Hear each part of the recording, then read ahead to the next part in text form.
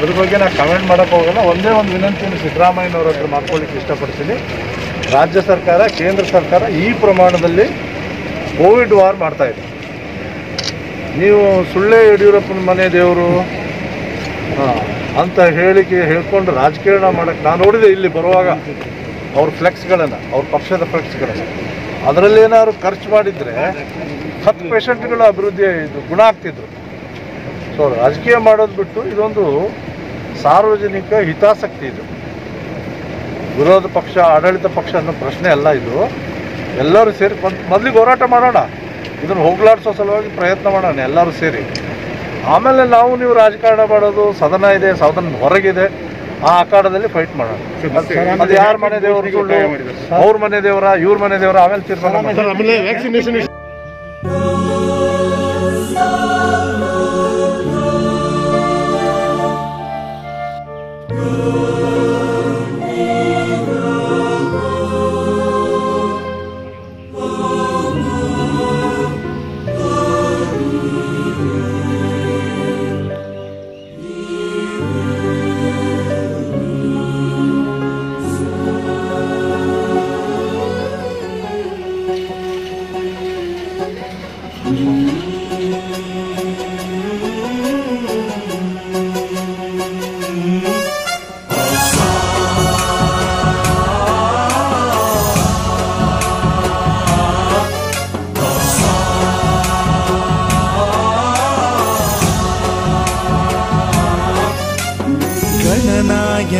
य गणदैवताय गणाध्यक्षाय धीमहि।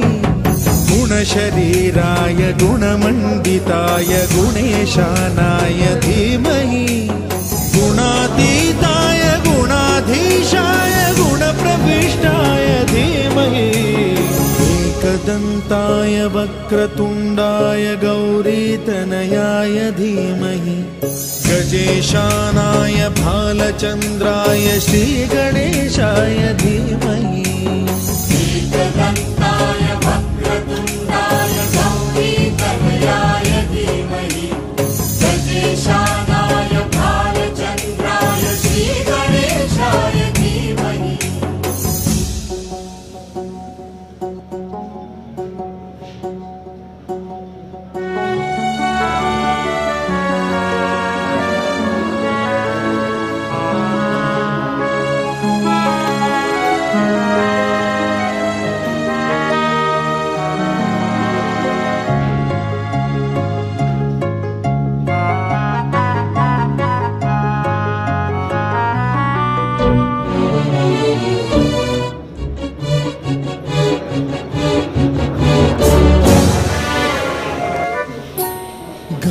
చతురాయ గాన ప్రాణాయ గానాంతరాత్మనే గానోత్సుకాయ గానమత్తాయ గానోత్సుక మనసే గురు పూజితాయ గురుదైవతాయ గురుకుల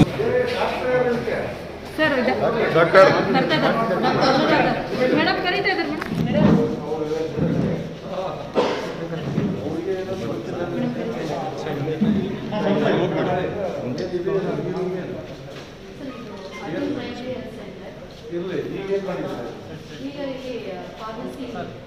ವ್ಯಾಕ್ಸಿನ್ ಸ್ಟೋರೇಜ್ ಮಾಡಲಿಕ್ಕೆ ವ್ಯಾಕ್ಸಿನ್ ಇಲ್ಲ ಹಾಕ್ತೀರಾ ವ್ಯಾಕ್ಸಿನು ಇದೆ ನೋ ಹಾಕ್ಬಾರ್ದು ವ್ಯಾಕ್ಸಿನ್ ಹಾಕ್ಬಿಟ್ಟು ಹಾಕ್ಬಾರ್ದು ಬೇರೆ ಬೇರೆ ನೀನು ಡೈರೆಕ್ಷನ್ ಇಶ್ಯೂ ಆಗಿರೋ ಕೋವಿಡ್ ಪೇಷಂಟ್ ಇರೋ ಕಡೆಗೆ ವ್ಯಾಕ್ಸಿನ್ ಹಾಕ್ಬಾರ್ದು ಈ ವ್ಯಾಕ್ಸಿನ್ ಹಾಕ್ಬೋದು ಇದು ಅರ್ಬನ್ ಪಿ ಎಸ್ ಸಿ ಅಂತ ಆಯ್ತಲ್ಲ ಈಗ ಮಾರಿಕುಪ್ಪಂ ಪಿ ಎಸ್ ಸಿ ಆಯಿತು ಲ್ಯಾಬ್ ಟೆಸ್ಟ್ ಎಲ್ಲಿ ಮಾಡ್ತಾರೆ? ಅದಕ್ಕೆ ವ್ಯಾಕ್ಸಿನ್ ಹಾಸ್ಪಿಟಲಲ್ಲಿ ಹಾಕ್ಬಾರ್ದು. ಪಕ್ಕದಲ್ಲಿ ಯಾವ್ದಾದ್ರು ಗೆಸ್ಟ್ ಹೌಸ್ ಇದೆ ನೋಡಿ. ಅವರೆಲ್ಲ ನಾನ್ ಕೋವಿಡ್ ಪೇಷಂಟ್ಸ್ ಪೇಷಂಟ್ಸ್ ಅಲ್ಲ ಅವರು. ಆರೋಗ್ಯವಂತರು. ಅದಕ್ಕೆ ಅವ್ರ ಹತ್ರ ಪೇಷಂಟ್ಗಳು ಸುಳ್ಳು. ವ್ಯಾಕ್ಸಿನ್ ಹಾಕೋದು. ಕೋವಿಡ್ ಪೇಷಂಟ್ ಸಪ್ರೇಟ್ ಇಲ್ಲ, ಪೇಷಂಟ್ ಹಾಸ್ಪಿಟಲ್ ಹಾಕಂಗೆ ಒಂದೇ ಪ್ರಿಮೈಸಸ್ ಅಲ್ಲಿ ಬೇಡ. ಇದು ನಾವು ಎರಡು ಕಂಪಾರ್ಟ್ಮೆಂಟ್ ಇದೆ. ಈ ಕಡೆ ನಾನ್ ಕೋವಿಡ್ ಆ ಕಡೆ ಕೋವಿಡ್ ಅಂತ ಬಟ್ ಒಂದೇ ಕಾಂಪೌಂಡ್ ಒಳಗೆ ಬರುತ್ತಲ್ಲ. ಅದು ಬೇಡ.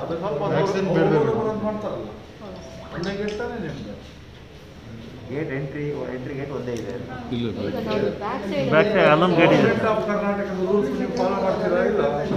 ಕರ್ನಾಟಕದ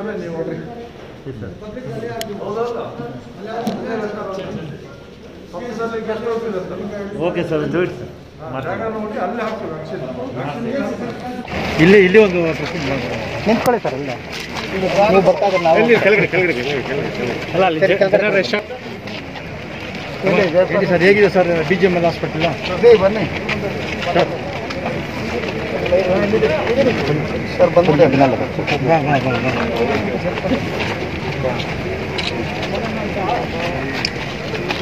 ಸ್ವಲ್ಪ ಡಿಸ್ಟೆನ್ಸ್ ಮೇಂಟೈನ್ ಮಾಡಿ, ದಯವಿಟ್ಟು. ಕಳೆದ ಅನೇಕ ವರ್ಷಗಳಿಂದ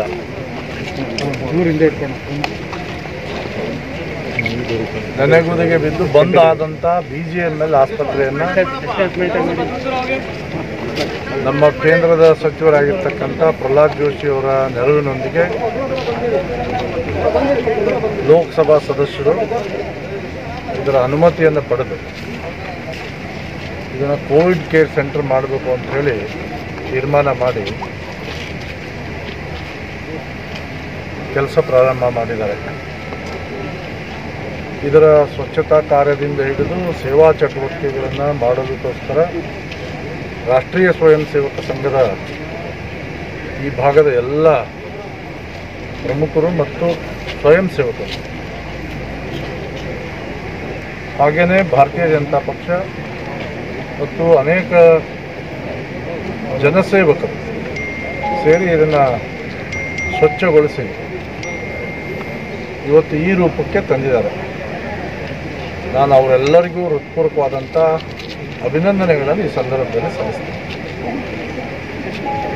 ಇಲ್ಲಿ ಇನ್ನೂರ ಐವತ್ತು ಹಾಸಿಗೆಗಳ ಪ್ರಾರಂಭಿಕವಾಗಿ ಕೋವಿಡ್ ಕೇರ್ ಸೆಂಟರನ್ನು ಈಗಷ್ಟೇ ನಾವೆಲ್ಲ ಸೇರಿ ಉದ್ಘಾಟನೆಯನ್ನು ಮಾಡ್ತೀವಿ. ನಾಳೆಯಿಂದ ಇಲ್ಲಿ ಪೇಷಂಟ್ಗಳಿಗೆ ಬರೋದಕ್ಕೆ ಅವಕಾಶ ಇದೆ. ಯಾರು ನಾನ್ ಕೋವಿಡ್ ಪೇಷಂಟ್ಸ್ ಇದ್ದಾರೆ, ಅವ್ರು ಯಾರೂ ಬರಬಾರ್ದು ಅಂತ ವಿನಂತಿ ಮಾಡಿಕೊಂಡು. ಭಾಳ ಹಳೆಯ ಆಸ್ಪತ್ರೆ. ಒಂದು ಹಂತಕ್ಕೆ ತಂದಿರತಕ್ಕಂಥ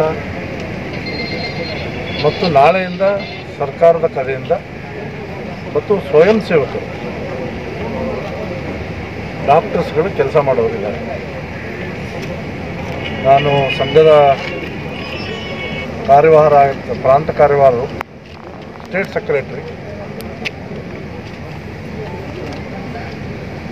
ಜಯಪ್ರಕಾಶ್ ಅವರು ಕೂಡ ಚರ್ಚೆ ಮಾಡಿದ್ದಾರೆ ಅವರೂ ಕೂಡ ಸ್ವಯಂ ಸೇವಕರನ್ನ ಡಾಕ್ಟರ್ಸ್ಗಳನ್ನು, ನರ್ಸ್ಗಳನ್ನು ಇಲ್ಲಿ ಹೊಂದಿಸ್ಕೊಡೋದಕ್ಕೆ ಈಗಾಗಲೇ ಸಿದ್ಧತೆಯನ್ನು ಮಾಡ್ತಾ ಇದ್ದೀವಿ ಅಕಸ್ಮಾತ್ ಯಾರಾದರೂ ಸರ್ಕಾರೇತರ ಡಾಕ್ಟರ್ಸು, ನರ್ಸ್ಗಳು ಇಲ್ಲಿ ಕೆಲಸ ಮಾಡಲಿಕ್ಕೆ ಮುಂದೆ ಬರುವಂಥವ್ರಿಗೆ ಸರ್ಕಾರ ಅದನ್ನು ರೆಕಗ್ನೈಸ್ ಮಾಡುತ್ತೆ. ಮತ್ತು ಅವರ ಆನ್ರೇರಿಯಂ ಯಾಕಂದರೆ ಗೌರವವಾಗಿ ಕೆಲಸ ಮಾಡೋಕ್ಕೆ ಬಂದವ್ರಿಗೆ ನಾವು ಸ್ಯಾಲ್ರಿ ಅಂತ ಹೇಳಿದರೆ ತಪ್ಪಾಗತ್ತೆ. ಆ ಆನ್ರೇರಿಯಮನ್ನು ಸರ್ಕಾರ ಅವ್ರಿಗೆ ಕೊಡುತ್ತೆ. ವಿಶೇಷವಾಗಿ ಇದರ ಮುತುವರ್ಜಿಯನ್ನು ವಹಿಸಿ ನಮ್ಮ ಲೋಕಸಭಾ ಸದಸ್ಯರಾಗಿರ್ತಕ್ಕಂಥ ಮುನಿಸ್ವಾಮಿಯವರು ಮತ್ತು ಅವ್ರ ತಂಡ ಮತ್ತು ನಮ್ಮೆಲ್ಲ ಪಕ್ಷದ ಕಾರ್ಯಕರ್ತರು ಎಲ್ಲರೂ ಸೇರಿ ಇದನ್ನು ನಡೆಸುವಂಥ ಜವಾಬ್ದಾರಿಯನ್ನು ಕೂಡ ತೆಗೆದುಕೊಂಡಿದ್ದಾರೆ. ಬರೋ ದಿನಗಳಲ್ಲಿ ಇದೊಂದು ಯಶಸ್ವಿ ಪ್ರಯೋಗವನ್ನು ಇಪ್ಪತ್ತ್ಮೂರು ವರ್ಷಗಳ ಹಿಂದೆ ಹಾಳಾಗಿರ್ತಕ್ಕಂಥ ಯಾರನ್ನ ಸರಿ ಮಾಡಿ ಕಳಿಸುವಂಥ ಆಸ್ಪತ್ರೆ ಇತ್ತು, ಅದೇ ಹಾಳಾಗೋಗಿತ್ತು. ಈಗ ಅದು ಸರಿಗೋ ಸರಿ ಸರಿಯಾಗಿ ರಿಪೇರಿ ಮಾಡಿ ಲೋಕಾರ್ಪಣೆಗೊಂಡಿದೆ. ನಾಳೆಯಿಂದ ಈ ಕೆಲಸ ಪ್ರಾರಂಭ ಆಗುತ್ತೆ. ಎಲ್ಲಿಗೆ? ಎಷ್ಟು ಡಾಕ್ಟರ್ಸ್ ಈಗ ಅಪಾಯಿಂಟ್ಮೆಂಟ್ ಮಾಡ್ತಾರೆ ಈಗ?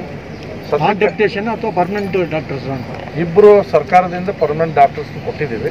ಅವ್ರ ಜೊತೆಗೆ ನರ್ಸ್ಗಳನ್ನು ಕೊಟ್ಟಿದ್ದೀವಿ. ಇನ್ನು ಆರು ಜನನ್ನ ವಾಲಂಟ್ರಿಯಾಗಿ ನಾನು ಆಗಲೇ ಹೇಳಿದೆ ಆರ್ ಎಸ್ ಎಸ್ ಕಡೆಯಿಂದ ನಮ್ಗೆ ಜೋಡಿಸ್ಕೊಡ್ತಾ ಇದ್ದಾರೆ. ಸೊ ಯಾವುದೇ ರೀತಿಯಿಂದ ಔಷಧಿಗಳಾಗಲಿ, ಡಾಕ್ಟರ್ಗಳಾಗಲಿ ಕೊರತೆ ಆಗದೇ ಇರೋ ನೋಡ್ಕೊಳ್ತೇವೆ. ಹಾಗೆಯೇ ಈಗಾಗಲೇ ಸಿದ್ಧತೆಯನ್ನು ಮಾಡ್ತಾ ಇದ್ದಾರೆ. ಆಕ್ಸಿಜನೇಟರ್ ಬೆಡ್ಗಳನ್ನು ಮಾಡೋದಕ್ಕೆ ತಯಾರಿಯನ್ನು ಮಾಡ್ತಾ ಇದ್ದಾರೆ. ಈಗ ತಾತ್ಕಾಲಿಕವಾಗಿ ಕಾನ್ಸಂಟ್ರೇಟರ್ ಮುಖಾಂತರ ಆಕ್ಸಿಜನ್ ಬೆಡ್ಗಳನ್ನು ರನ್ ಮಾಡಬೇಕು. ಮತ್ತು ಪರ್ಮನೆಂಟಾಗಿ ಆಕ್ಸಿಜನ್ ಲೈನ್ ಎಳೆದು ಇಲ್ಲೂ ಕೂಡ ಆಕ್ಸಿಜನ್ ದೊರೆಯುವ ಹಾಗೆ ಮುಂದಿನ ದಿನಗಳಲ್ಲಿ ಮಾಡಬೇಕು. ಜನರಲ್ ಜನರಲ್ ಹಾಸ್ಪಿಟಲಲ್ಲಿ last eight to nine years ಒಂದು ಫಿಸಿಷಿಯನ್ ಇಲ್ಲ. ಮೂರು ನಾಲ್ಕು? General K G F government hospital ಫಿಸಿಷಿಯನೇ ಇಲ್ಲ. ಏಯ್ಟ್ ಇಯರ್ಸ್ ಇಂದ. ಎಷ್ಟೋ ಬಾಬಾ ಪತ್ರ ಬರೆದು ಮತ್ತೆ ರೆಸ್ಪಾನ್ಸೇ ಇಲ್ಲ ಅಂತ. ಇವತ್ತು ಬೆಳಗಿನ ಮುಖ್ಯಮಂತ್ರಿ ಪ್ರಧಾನಮಂತ್ರಿಗಳ ಒಂದು ವಿಡಿಯೋ ಕಾನ್ಫರೆನ್ಸಲ್ಲಿ ಅದಾದ ನಂತರ ಅಧಿಕಾರಿಗಳ ಸಭೆಯಲ್ಲಿ ಈ ರೀತಿ ಏನೇನು ಕೊರತೆಗಳಿದೆ ಎಲ್ಲವನ್ನು ನನ್ನ ಗಮನಕ್ಕೆ ತಂದಿದ್ದಾರೆ. ವಾಕಿನ್ ಇಂಟರ್ವ್ಯೂ ಕೂಡ ಮಾಡೋದಕ್ಕೆ ನಾನು ಹೇಳಿದ್ದೀನಿ ನಿಮಗೆ ವಾಕಿನ್ ಇಂಟರ್ವ್ಯೂಗೆ ಹೇಳಿದ ತಕ್ಷಣ ಬರ್ತಾರಂತಿಲ್ಲ. ನಿಮಗೆ ಪರಿಚಯ ಇರೋರನ್ನ ಗುರುತು ಮಾಡಿ ಕರೀರಿ. ಕರೆದು ಕೆಲಸಕ್ಕೆ ಹಚ್ಚಿ. ಇದು ಕೋವಿಡ್ ಸಿಚುವೇಶನ್ ಅದಕ್ಕೆ ಅಪ್ರೂವಲ್ ಕೊಡುವಂಥ ಕೆಲಸವನ್ನು ಸ ಕೇಂದ್ರ ರಾಜ್ಯ ಸರ್ಕಾರ ಮಾಡುತ್ತೆ ಅಂತ ನಾನು ಈಗಾಗಲೇ ಅನುಮತಿ ಕೊಟ್ಟಿದ್ದೀನಿ. ಜನರಲ್ ಹಾಸ್ಪಿಟಲ್ ಜನರಲ್ ಹಾಸ್ಪಿಟ್ಲಿಗೆ ನಾನು ಹೇಳ್ತಾ ಇರೋದು. ಯಾವುದೇ ಡಾಕ್ಟರ್ಗಳ ಕೊರತೆ ಇರಲಿ ನರ್ಸ್ಗಳ ಕೊರತೆ ಇರಲಿ ಮತ್ತು ಲ್ಯಾಬ್ಗಳಿರೋ ಕಡೆಗೆ ಲ್ಯಾಬ್ಗಳ ಕೊರತೆ ಇದ್ದಲ್ಲಿ ಇದನ್ನು ತುಂಬಿಕೊಳ್ಬೇಕು ಆದ್ಯತೆ ಮೇಲೆ. ಇಲ್ಲಿ ಕೂಡ ಒಂದು ಆಕ್ಸಿಜನ್ ಪ್ಲಾಂಟ್ಗೆ ಒಂದು ಏನಾದರೂ ಅದ್ರ ಬಗ್ಗೆ ನಾನು ಕಮೆಂಟ್ ಮಾಡೋಕೆ ಹೋಗಲ್ಲ ಒಂದೇ ಒಂದು ವಿನಂತಿಯನ್ನು ಸಿದ್ದರಾಮಯ್ಯನವ್ರ ಹತ್ರ ಮಾಡ್ಕೊಳ್ಳಿಕ್ಕೆ ಇಷ್ಟಪಡ್ತೀನಿ. ರಾಜ್ಯ ಸರ್ಕಾರ ಕೇಂದ್ರ ಸರ್ಕಾರ ಈ ಪ್ರಮಾಣದಲ್ಲಿ ಕೋವಿಡ್ ವಾರ್ ಮಾಡ್ತಾ ಇದೆ. ನೀವು ಸುಳ್ಳೆ ಯಡಿಯೂರಪ್ಪನ ಮನೆ ದೇವರು ಅಂತ ಹೇಳಿಕೆ ಹೇಳ್ಕೊಂಡು ರಾಜಕೀಯ ಮಾಡಕ್ಕೆ ನಾನು ನೋಡಿದೆ ಇಲ್ಲಿ ಬರುವಾಗ. ಅವ್ರ ಫ್ಲೆಕ್ಸ್ಗಳನ್ನು ಅವ್ರ ಪಕ್ಷದ ಫ್ಲೆಕ್ಸ್ಗಳನ್ನು ಅದರಲ್ಲೇನಾದ್ರು ಖರ್ಚು ಮಾಡಿದರೆ ಹತ್ತು ಪೇಷಂಟ್ಗಳ ಅಭಿವೃದ್ಧಿ ಇದು ಗುಣ ಆಗ್ತಿದ್ರು. ಸೊ ರಾಜಕೀಯ ಮಾಡೋದು ಬಿಟ್ಟು ಇದೊಂದು ಸಾರ್ವಜನಿಕ ಹಿತಾಸಕ್ತಿ ಇದು. ವಿರೋಧ ಪಕ್ಷ, ಆಡಳಿತ ಪಕ್ಷ ಅನ್ನೋ ಪ್ರಶ್ನೆ ಅಲ್ಲ ಇದು. ಎಲ್ಲರೂ ಸೇರಿ ಮೊದಲಿಗೆ ಹೋರಾಟ ಮಾಡೋಣ. ಇದನ್ನು ಹೋಗ್ಲಾಡಿಸೋ ಸಲುವಾಗಿ ಪ್ರಯತ್ನ ಮಾಡೋಣ ಎಲ್ಲರೂ ಸೇರಿ. ಆಮೇಲೆ ನಾವು ನೀವು ರಾಜಕಾರಣ ಮಾಡೋದು, ಸದನ ಇದೆ, ಸದನ ಹೊರಗಿದೆ. ಆ ಅಖಾಡದಲ್ಲಿ ಫೈಟ್ ಮಾಡೋಣ. ಅದು ಯಾರ ಮನೆ ದೇವರು ಅವ್ರ ಮನೆ ದೇವರ? ಇವ್ರ ಮನೆ ದೇವರ? ಆಮೇಲೆ ತೀರ್ಮಾನ